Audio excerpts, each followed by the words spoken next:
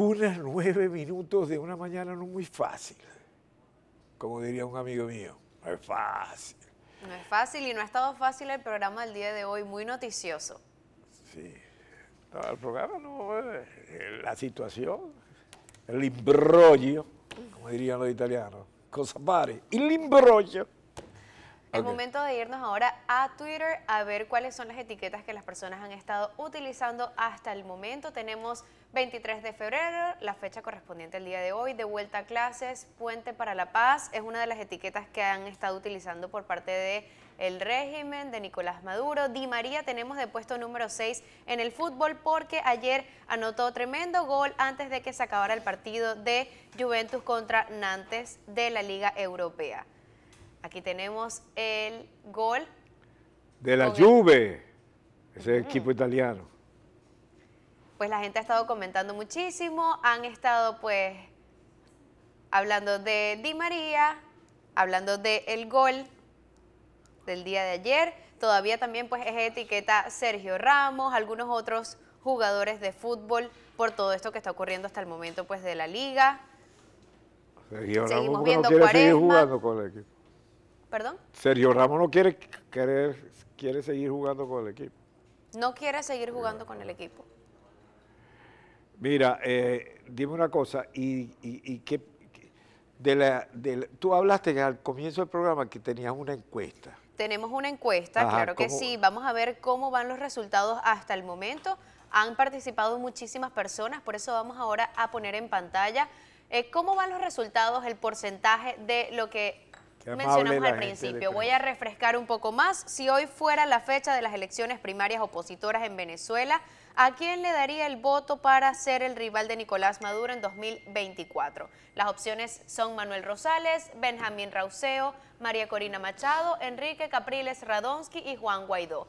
Aquí tenemos hasta el momento cómo van los resultados. ¿Cómo- cómo van? María Dígamelo Corina ahí, Machado yo- lleva un 76%. Ah, pero ¿cuál, quién, ¿quién lleva? ¿Quién está de María primer? Corina Machado está de primer lugar según las personas que han estado votando.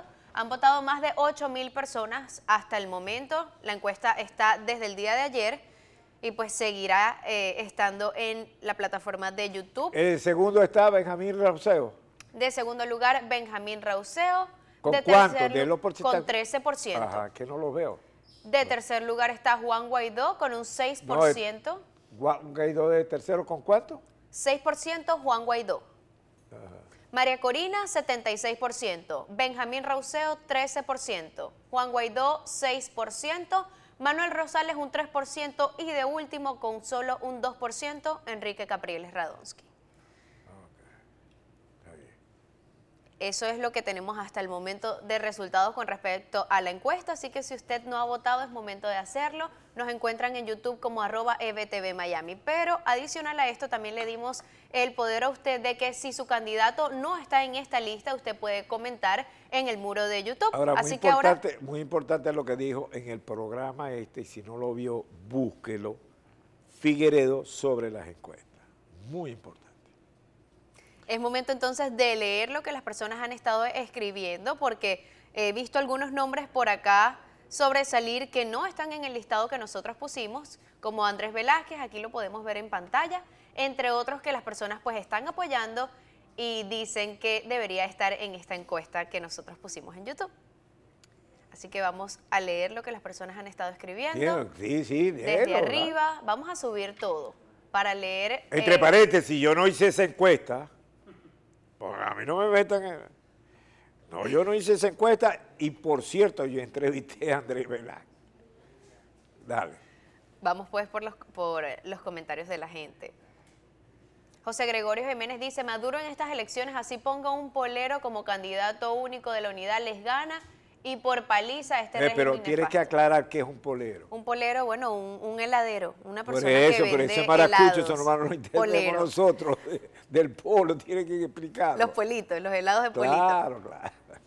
Seguimos leyendo los comentarios, a ver un poco más abajo. Dicen aquí Carlos Julio Rojas, aclaren, ¿por qué en la lista no están todos los que son y son todos los que están? Porque La no la hice yo, por chicos. Si lo hubiera hecho yo, yo meto a todos. Dale. Ajá. Seguimos leyendo. Ah. Saludos desde España. Los ciudadanos venezolanos en el exterior tienen que orga- organizarse y activarse de verdad. De ustedes depende luchar por verdaderas condiciones electorales. Estoy leyendo un comentario, mire, que Federico, ciudadano, pero con el debido respeto, teniendo usted 76 años, ¿va a seguir señalando como desventaja a los 80 de Biden?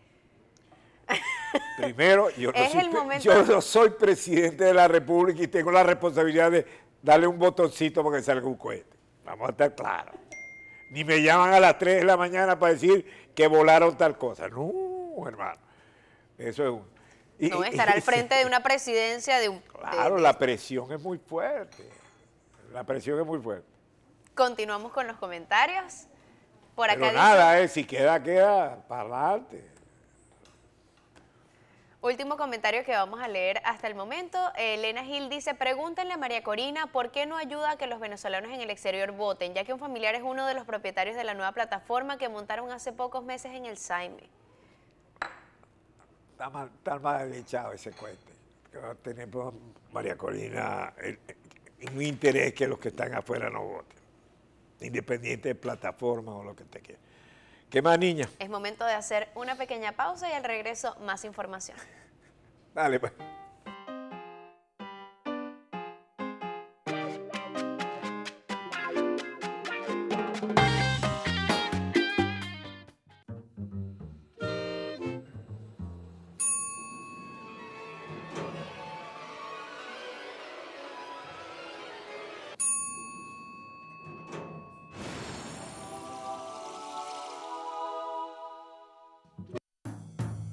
Para nosotros una caja no es solo una caja, son recuerdos, trabajo duro, ilusiones, soluciones, vida, amor, que parten de un lugar con ilusión y llegan a otro con alegría. Nosotros lo sabemos, por eso entregamos su carga rápido y seguro. Más que mercancía, entregamos alegría. Eurosur Logistics, Your Shipping Solution.